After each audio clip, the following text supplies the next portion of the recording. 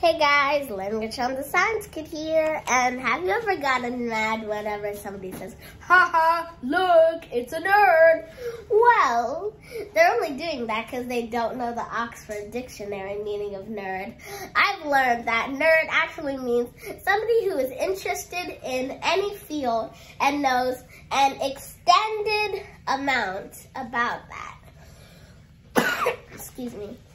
So anyway, if like a football jock or a musician comes and says, haha, nerd, you can just say, we're all nerds because we're all interested in something and know a lot about it.